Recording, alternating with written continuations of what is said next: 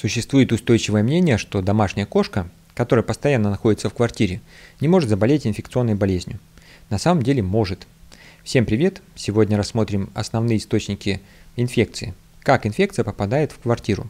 Первое – это обувь и верхняя одежда. Вы ходите по улице, можете вступить в фекалии, рвотные массы, другой субстрат, который содержит вирусы, бактерии, грибы, яйца глистов. Приходите домой, животное контактирует и заражается. Второе – насекомые. Чаще всего, конечно, это блохи. Они больше всего инфекции переносят. Но могут мухи, комары, другие насекомые. Многие из них включены в цикл развития других организмов. Глисты передаются. Могут на поверхности своего тела перенести с тем, с чем контактировали на улице. Третье – это бездомные животные. Заходит котик в подъезд, приносит инфекцию. Происходит контакт через открытое окно. Случай небольшой расскажу вам. Кошка живет на втором этаже. Люди уходят на работу и в летнее время проветривают, открывают окно и оставляют.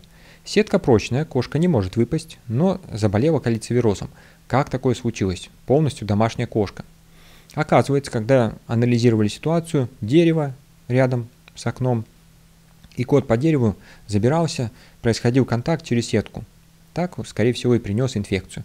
Учитывайте такие случаи. Возможно, все. Природа предусматривает различные варианты. Четвертое. Предметы ухода. Пуходерка, коврик, мисочка, какая-то игрушка. Некоторые из нас, владельцы животных, берут взаймы у кого-то, у родственников, у друзей, просто поиграть, обмениваются игрушками. Такого нельзя делать. Все должно быть индивидуально, как зубная щетка. Четвертое – это продукты питания, продукты кормления. Чаще всего это рыба, мясо, которые не проходят термическую обработку и неизвестного происхождения, сомнительного. Где-то купили, может быть, на стихийном рынке, а принесли паразитов, инфекцию, это опасно. Также э, был случай, когда взяли корм от погибшего животного и заразили своего котенка. Тоже учитывайте. И последнее. Животное может выпасть из окна, убежать через открытую дверь, проконтактировать там с бездомными животными, потом вы найдете через день, два, три, но есть такая вероятность. Что делать?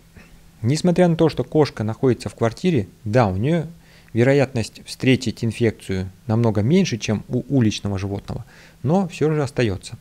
Поэтому вакцинируем, обрабатываем от паразитов регулярно, э, ухаживаем, кормление, чтобы иммунная система стабильно работала – Протираем возле порога, пришли, спрятали обувь, верхнюю одежду, сетки на окна поставили, чтобы насекомые не проникали и не было контакта с уличными животными.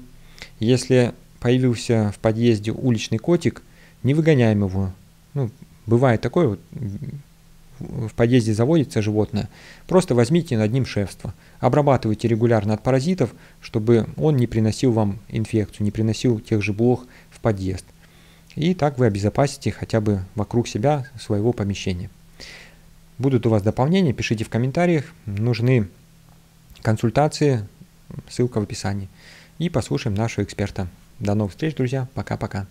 Ой, как нарассказывать своих страшилок и ужастиков, так и жить опасно становится.